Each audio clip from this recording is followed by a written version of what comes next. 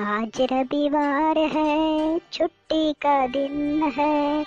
जो दोस्तों न घूमने जाए, वो कान में तेल लेके सोए।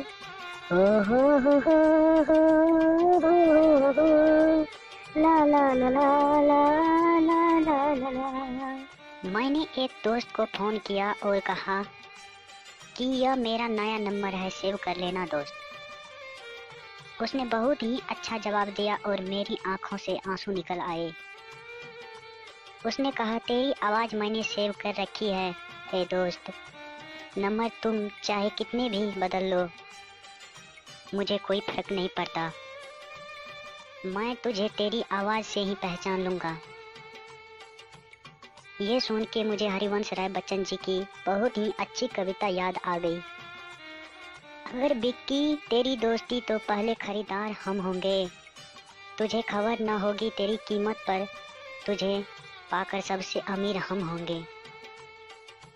दोस्त साथ हो तो रोने में भी शान है, दोस्त न हो तो महफिल भी शमशान है।